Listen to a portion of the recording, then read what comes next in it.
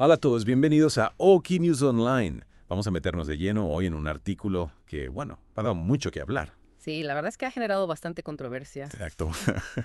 un análisis de Pilar en cambio, ¿no? Para Oki News, por supuesto.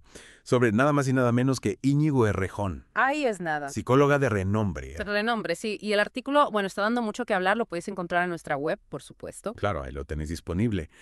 Y bueno, ¿por dónde empezamos? A ver, ella decide escribir este artículo, ¿no? A raíz de, bueno, esta contradicción tan flagrante que se ve. Claro, la contradicción que existe entre, por un lado, digamos, su postura política, la de Rejón, sobre el consentimiento, ¿no? Y por otro lado, estas acusaciones que han surgido, eh, bueno, de, de, comportamiento abusivo, ¿no? Exacto, porque, claro, recordemos, su partido defendía a capa y espada el sí es, sí hace, ¿no?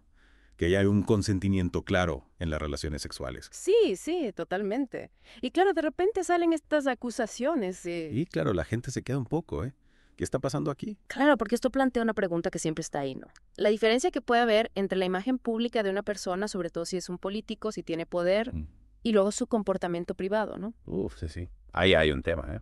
Hay un tema profundo, desde luego. Y ella utiliza términos como parafilia, psicopatía, Claro, utiliza esos términos para describir algunos de los comportamientos que se le atribuyen, ¿no? Exacto, pero ojo, ¿eh?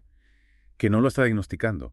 Simplemente los utiliza como observaciones de rasgo de personalidad. Efectivamente.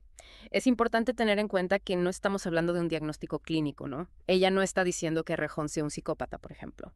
Lo que hace es utilizar esos términos para intentar comprender mejor, digamos, la psicología que podría subyacer esos comportamientos. Claro, o sea, de eso trata de poner una etiqueta, ¿no? No, no, para nada. Se trata de analizar, de comprender. Y hablando de comprender, ella también menciona al psiquiatra forense Miguel Gaona, ¿no? Sí, menciona a Gaona, que sugiere que el supuesto consumo de drogas de rejón en contextos sexuales pues podría ser una señal de una posible adicción al sexo. Ajá. Y que esto necesitaría terapia, ¿no? Claro, porque la adicción, ya sea al sexo o a cualquier otra cosa, puede llevar a comportamientos destructivos y dañinos. Claro, es que ahí entramos en un terreno muy delicado, porque por un lado, sí, la adicción puede influir en el comportamiento, pero por otro lado, pero por otro lado, la adicción nunca puede justificar el abuso ni el daño a otra persona. Exacto, eso es fundamental tenerlo claro. Y otra cosa que me ha llamado mucho la atención del artículo es cuando habla del abuso de poder histórico, ¿no? Sí, como en el pasado el miedo impedía a las víctimas hablar, ¿no? Y cómo esto sigue ocurriendo en la actualidad. Claro, porque no es algo del pasado, ¿eh? Sigue pasando hoy en día. Desgraciadamente sí.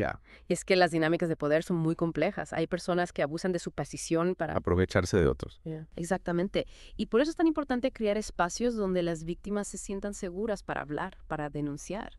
Movimientos como el que lidera Cristina Fallarás, por ejemplo han sido fundamentales en este sentido. Totalmente. Y ella también habla de la importancia de compartir experiencias, ¿no? Sí, de la importancia de encontrar solidaridad en otras personas que han pasado por algo similar, porque eso te ayuda a comprender que no estás solo, que lo que te ha pasado no es algo aislado. Claro, te sientes comprendido, ¿no? Sí, te sientes validado. Y eso es fundamental para la recuperación del trauma, porque cuando se sufrió un abuso, es fácil sentirte culpable, avergonzado. Como si la culpa fuera tuya. Exacto. Y por eso es tan importante que las víctimas sepan que no están solas, que lo que les ha pasado no es culpa suya y que hay gente que las cree, que las apoya. Y por supuesto, ella insiste en que las investigaciones y las acciones legales son necesarias. Por supuesto. Es fundamental que se haga justicia, que los responsables rindan cuentas por sus actos. Claro, que no quede todo en palabras. Exacto, las palabras son importantes, pero no son suficientes necesitamos acciones, necesitamos que se tomen medidas para proteger a las víctimas y para prevenir futuros abusos. Y bueno, yo creo que aquí no. Dejamos al oyente con esa pregunta, ¿no? Sí, con esa pregunta de cuál es nuestra responsabilidad como individuos, como sociedad, para que estas cosas no sigan pasando. Exacto, ¿qué podemos hacer cada uno de nosotros? No te olvides de pasarte por nuestro canal de YouTube, Oki News, para compartir tus reflexiones. Y para un análisis más a fondo, ya sabes, nos encuentras aquí, en la calle Gran Vía 84. Ahí os esperamos. Hasta pronto. Hasta pronto.